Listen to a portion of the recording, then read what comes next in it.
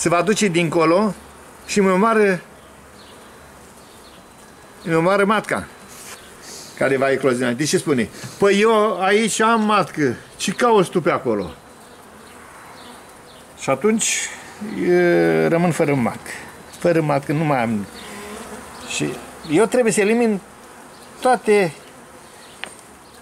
posibilitățile acestea de a, de a o pierde. Rămâne numai în natură. Când s-a ieșit la împerechere, atunci e povestea. Da?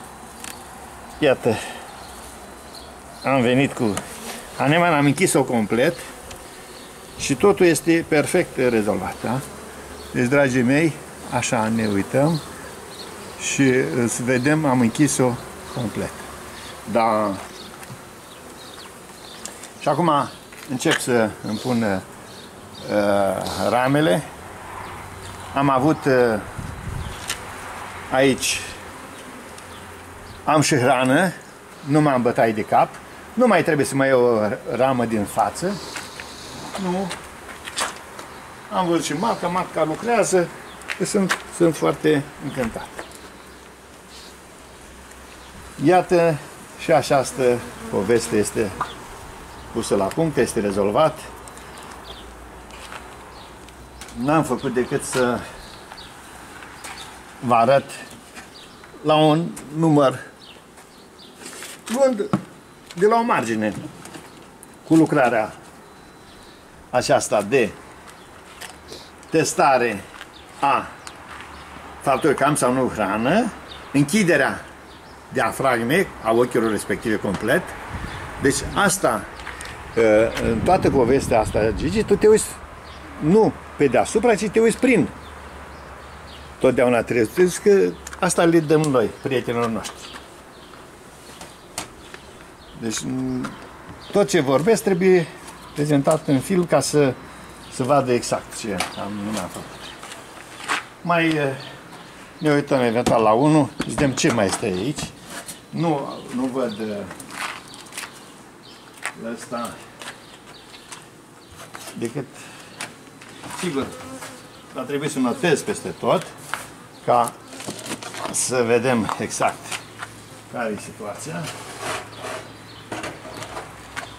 Deci aici el este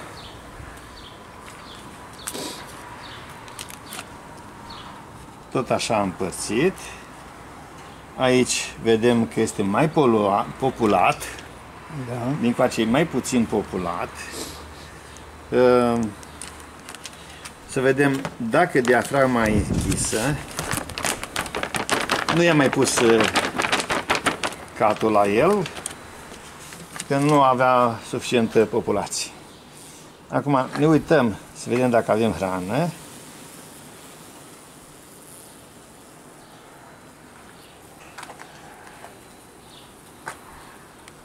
O surpriză.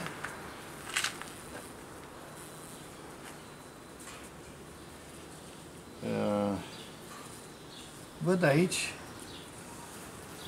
niște boți în creștere este semn că nu-i matcă aici.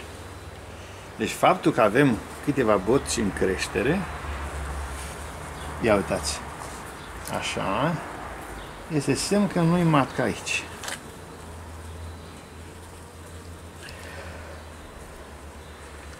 Ceva s-a întâmplat, ori n-am avut noi închis, s-o fi dus în față, nu, hai să ne ducem până la capăt să vedem acum. Deci, dacă nu avem hanemanul, dacă nu avem uh, diafragma pusă pe grilă, atunci matca se poate să fie dus în față și și-a pierdut uh, albina de ei și-a pierdut controlul și s-a întâmplat uh, ca ea aici, în contactul cu asta este o ramă încărcat cu nectar, deci nemai având obligații pentru creșterea puietului, a băgat numai nectar aici. Curiozitatea maximă este acum a mea, să vedem dacă avem pusă diafragma pe grilă.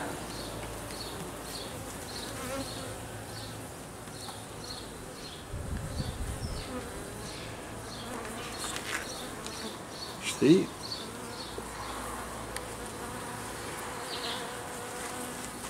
Aici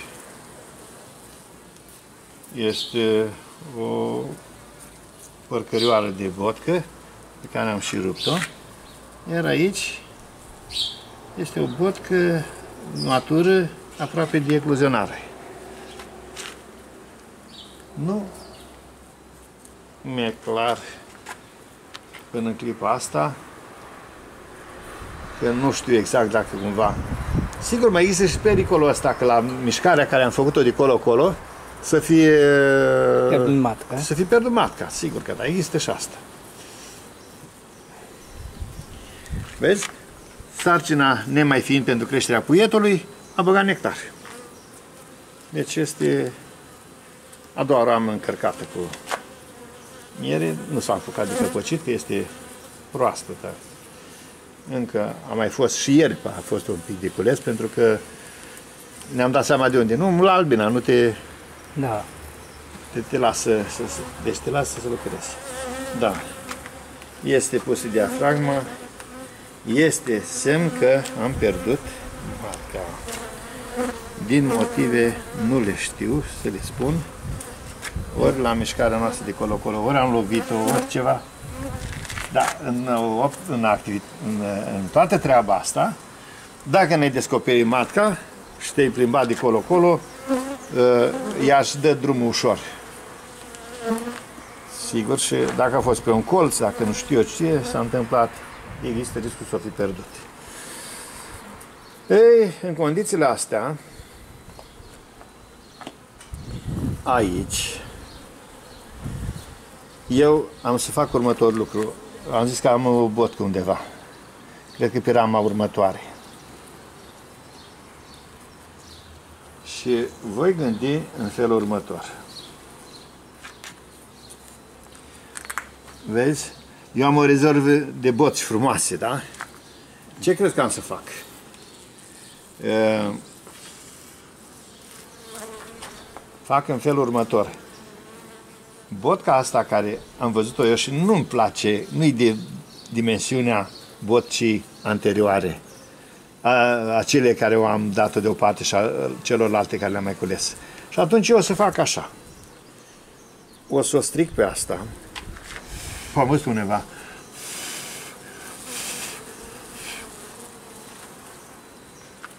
Oare a- pe asta a văzut-o sau pe cealaltă ramă?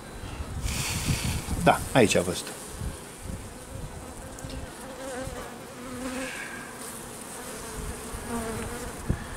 Mai pare a fi și asta frumușică. Dar nu e ca aceea. Deci să nu o recunosc. Pentru, așa, pentru a vedea cam cât e de frumoasă, am să o decupez pe ea și la o adică când sunt undeva la anghii, să o pot folosi, să zic. Dar acum eu am să o folosesc pe cea care o am ca o surpriză plăcută, matca aceea care am luat-o Da. mai devreme. De ce să nu fac asta? Nu? Nu-i păcat? Uite, dragilor, acum merg și aduc vodka. Mă primește, nu mă roade, sigur, sunt convins că nu, nu mă roade. Așa, aici am bocile, cele frumoase. Și să o tai ușor, că între timp o și sudat-o. Da? O și sudat-o.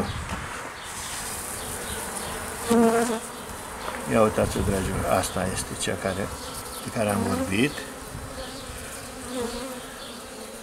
Și haideți să o mișcăm ușor. Și o aducem la locul ei acolo. Ce fac acum? O plasăm exact în, uh, într-un spațiu în care să-mi, să nu mi-o lovesc. Ia uitați cât de frumos este. Păi ce? Dacă am de unde, asta fac, da? Îmi fac spațiu. Deci fac spațiu ca să o pot plasa, să nu o lovim cumva. Uitați, așa gândesc.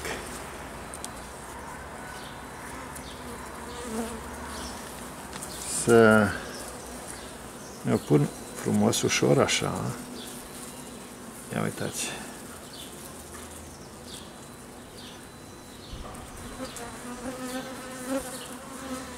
Da? Deci este plasată bine. Poate chiar mai mare trebuia să fac locașul.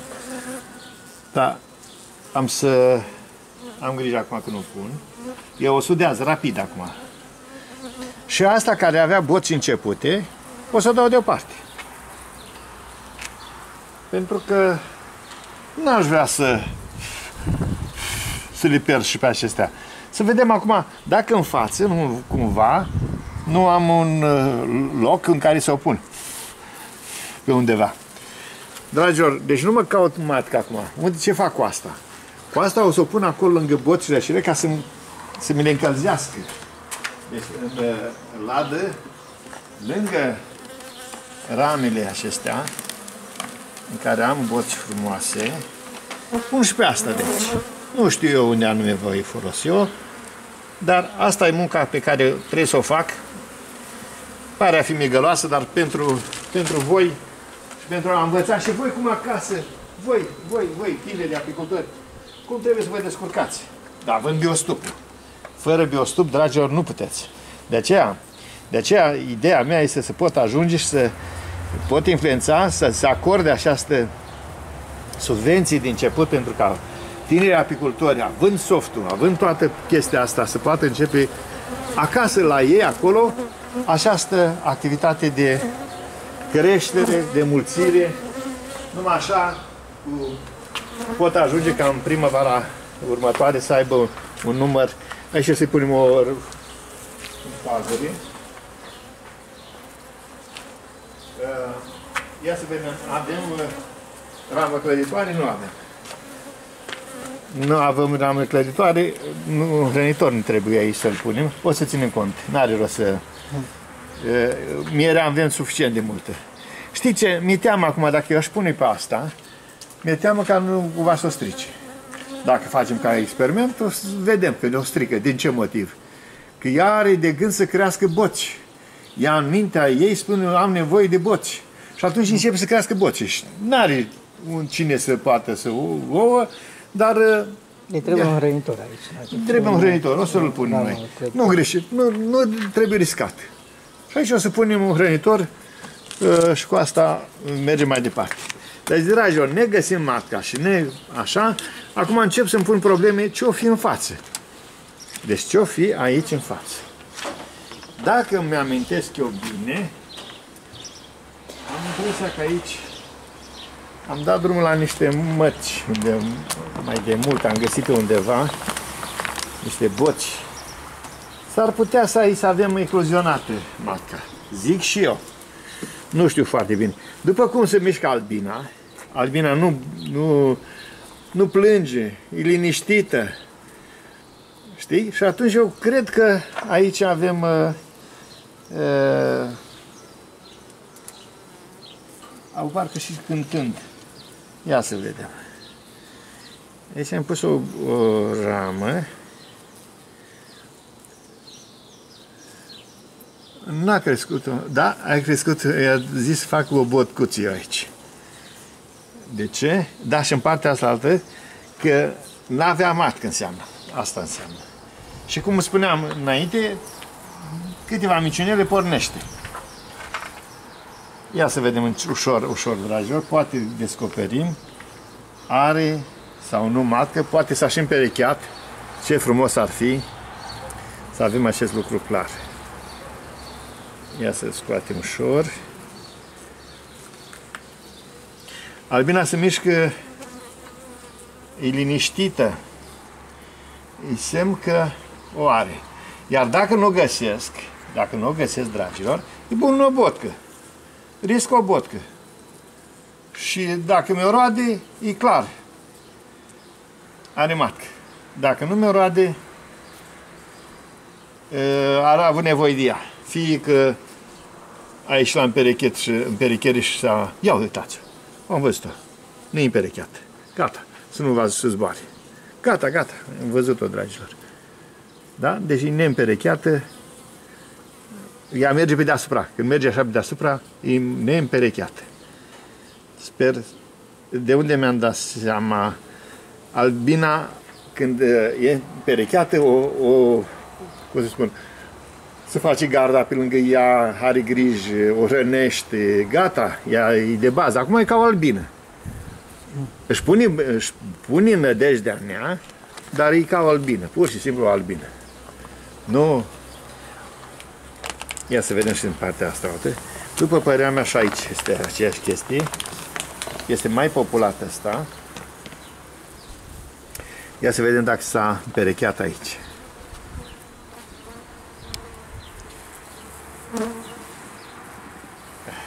Așa. Scoatem ușor. Să nu din marca. Să nu o lovim. Ați văzut că ea merge pe deasupra și există riscul să, să o lovești.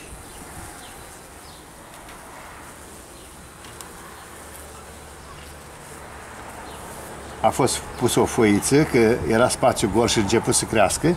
Și uitați cum vă spuneam și data trecută, pentru spate, a început să crească câte o botă pe aici.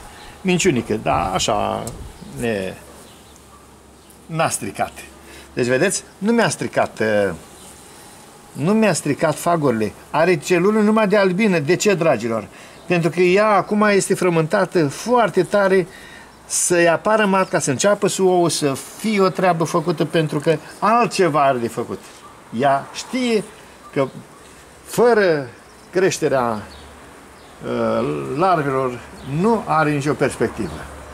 De aceea e numai albină matură, observați,